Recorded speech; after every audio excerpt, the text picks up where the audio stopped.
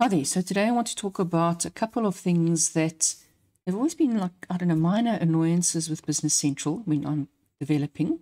The one is the lack of a universal variable, so a global variable that is known across all objects at any point in a particular session of the of the system.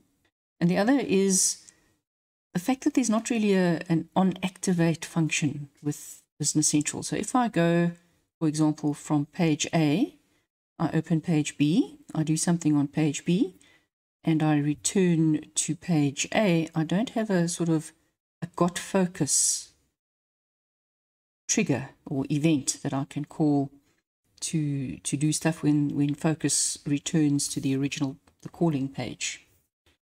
And I do think it would be useful to have that, but unfortunately Microsoft has given us limited options for that. We do have one or two options though, and I think it will be worthwhile to explore those. So let's get into the code.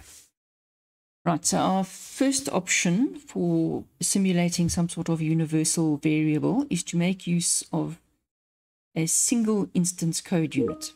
And uh, this works slightly differently to a normal code unit. When we call a normal code unit, it will be instantiated, it will run whatever code has been asked from it, so it could be running the entire code unit or it could be executing a particular function within the code unit.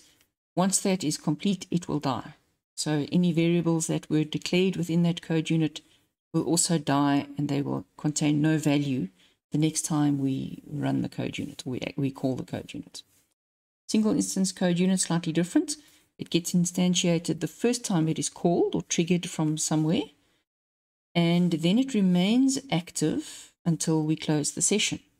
So any global variables that we may have declared within that single instance code unit also remain valid and active, and their values are maintained regardless of where we are in the application.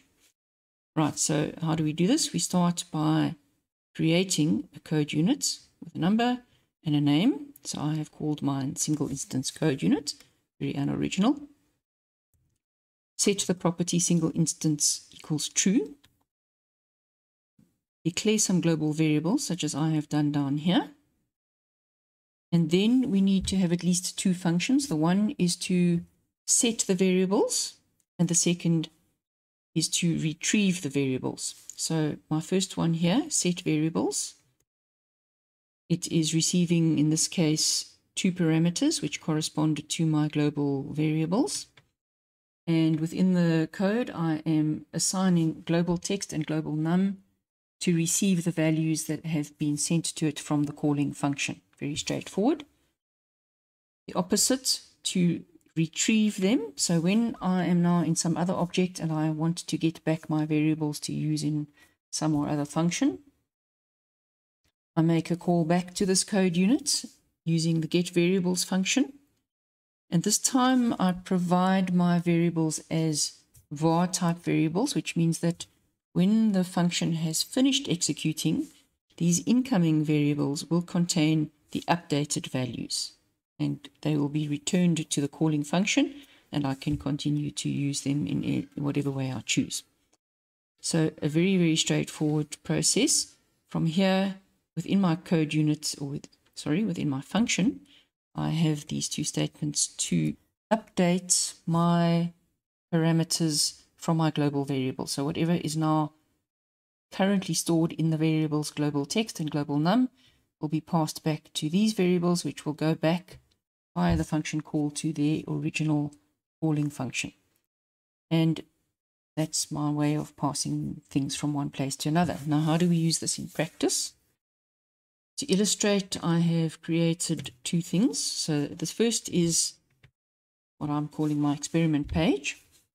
And in this, I have created two global variables here. They are called capture text and capture num.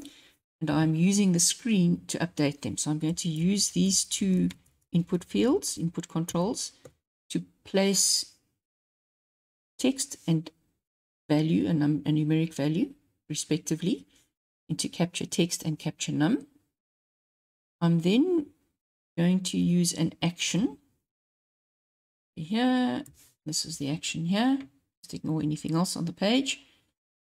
And what this is going to do, I have my on action trigger. I am declaring my single instance code unit, a CU, and I am calling the function set variables, sending to its capture text and capture num. So whatever I capture on my screen will now be passed into my single instance code units.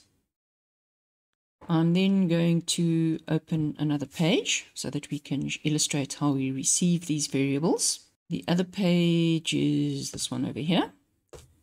And what I'm doing with this is I've created an action as well so that we can easily track what goes on on the code unit. I've created an action here that says get variables. Again, calling my get variables code unit. It's declared down here in the globals. I have got a bunch of global variables declared here. In this case, I have called them gtext and gnum. gcount we're not really using, but there it is. And I am going to call the function get variables using those parameters.